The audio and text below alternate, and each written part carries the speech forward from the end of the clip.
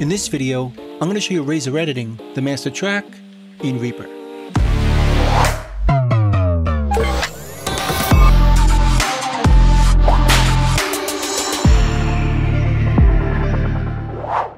Now Razor editing the master track is a newer feature that's been added fairly recently to Reaper.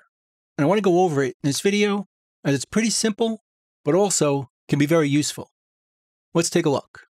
I have a project in front of me right here, and as you'll notice, we're not even seeing the master track, as it doesn't show up by default. But if we want to see it, we can go up here to the View menu and choose Master Track. Or we can use a keyboard shortcut. On PC, it's Alt Control M, and on Mac, it's Option Command M. So if we choose it, we can then see the master track.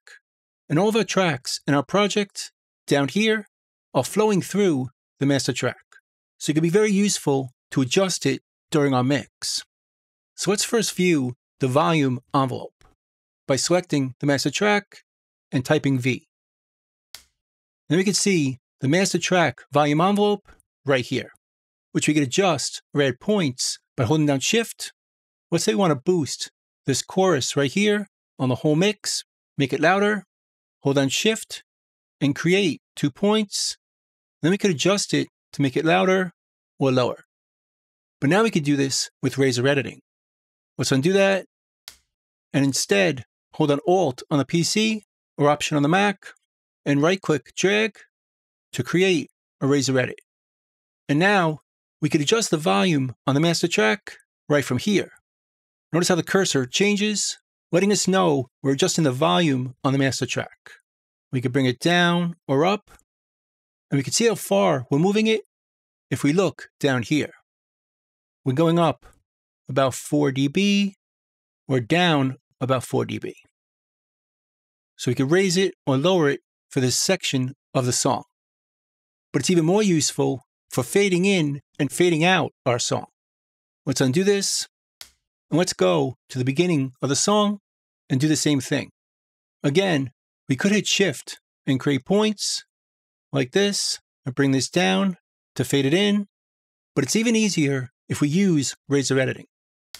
Alt on the PC, Option on the Mac, and create a Razor edit like this. And instead of adjusting it in the middle, we can put our cursor over here and notice how it changes, letting us know we're going to fade in this section. So we can drag it down to fade it in. Let's clear it. Alt on the PC, Option on the Mac. To clear the Razor edit, let's delete this point. And now our mix is going to fade in. Run a few miles down a desert road. Stare too long at it. But now we can adjust that fade using the Razor Edit as well. Let's create another one from here to about here. And then we can stretch it holding down Alt on the PC, Option on the Mac. See the cursor changes, and we can stretch it so it fades in slower or quicker. Run a few miles down a. Or we could just move it by grabbing it like this. So it'll start later or earlier. So we can readjust our fade in.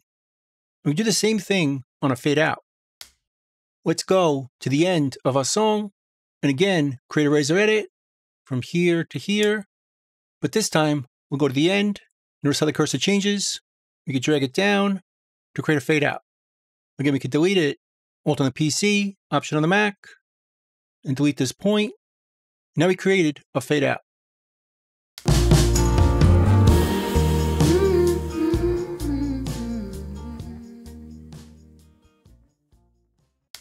And we can adjust the shape of the fade, Alt on the PC, Option on the Mac, and put our cursor in the middle of the fade out to adjust the shape of the fade out.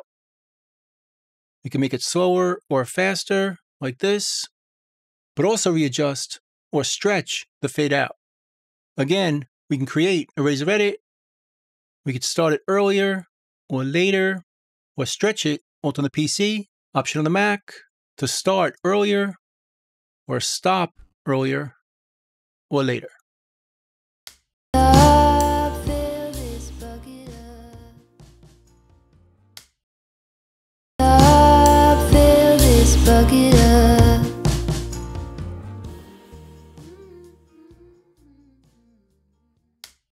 So it's a great way of creating fade ins or fade outs or adjusting them on the fly.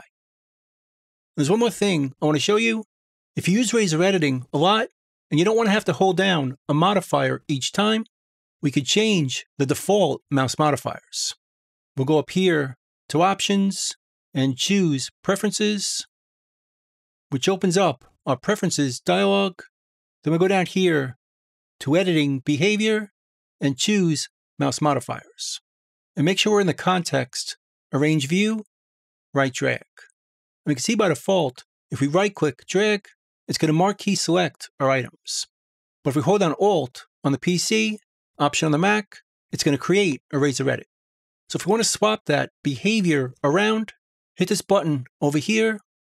And now by default, when we right click drag, it's going to create a Razor Edit. And if we hold down Alt on the PC, Option on the Mac, it's going to marquee select our items. So now, if we want to create a fade out, we don't need to hold down a modifier. Just right click drag to create one, create a fade out, delete this and the point, and we've created a fade out.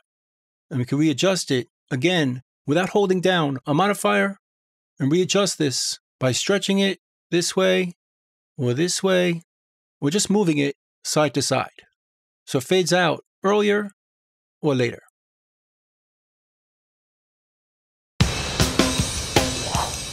So that's pretty much it. That's Razor editing the master track in Reaper. I hope you learned something, hope you could use it, and I'll see you next time. Thanks.